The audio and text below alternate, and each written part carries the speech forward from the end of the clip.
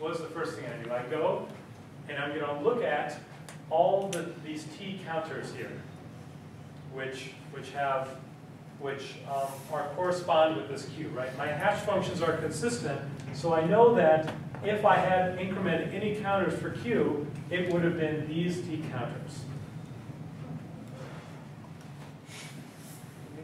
Okay, so I have these t different estimates of it, and how do I use these together to get the best estimate?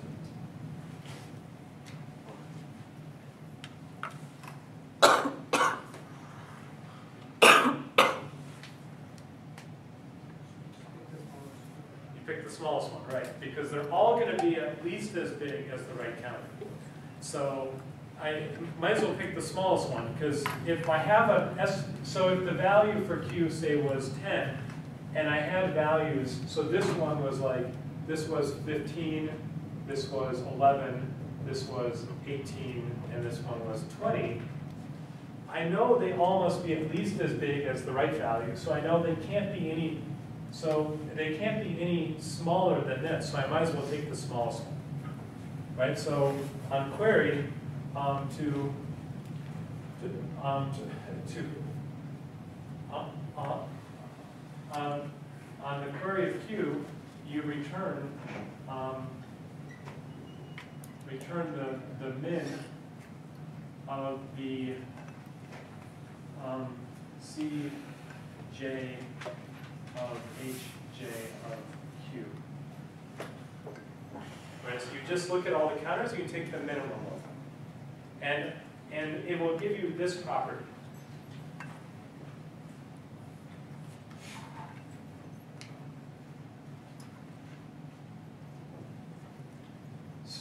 Um, so if, if, if you look in the, in the notes, uh, there's, a proof that's, it's, it's not too hard to, to see why this is true. And you can probably read through it and follow it, but I don't have time to go through it. Um, so it, basically what you do is you add up, so each, each of the, um, each of the other um, elements not equal to q has some chance of, of causing error for each, each of the counters. So if I look at the counter associated with Q, each of the other elements has a chance of having error it.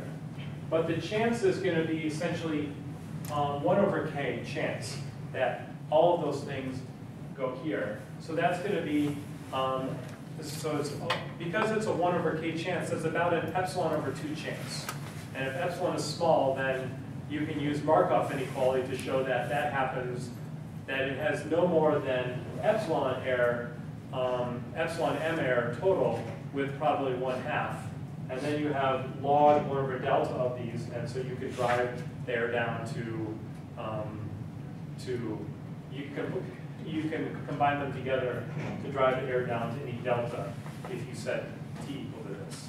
So that's kind of an overview of the, of the analysis.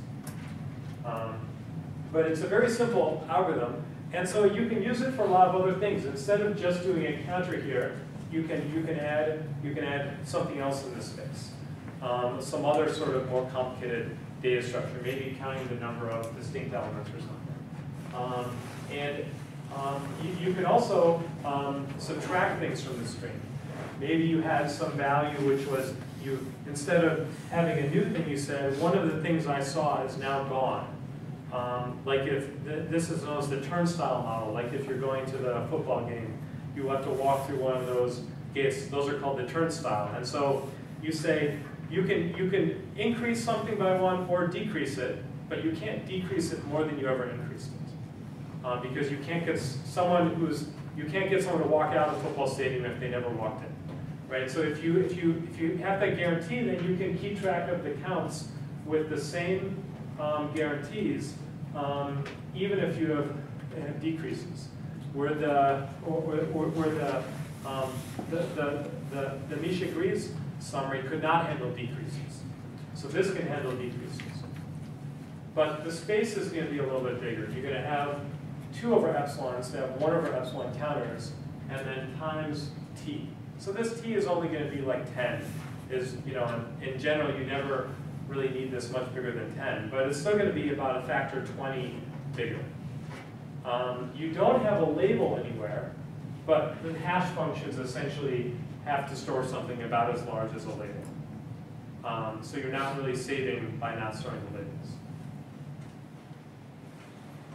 Um, so this is also another cool algorithm. So this was by um, by Cormode and Muthu. I think this was in this was in only in um, 2005, and so this has been used and extended all over the place since then. Um, so this was about when when uh, the Misra-Gries algorithm was rediscovered twice as well. Um, so, um, so, so these people have been studying this a lot in the last 10 years, and the streaming type algorithm, and found a lot of uses for really large scale, um, like, you know, really, really large scale. So, okay.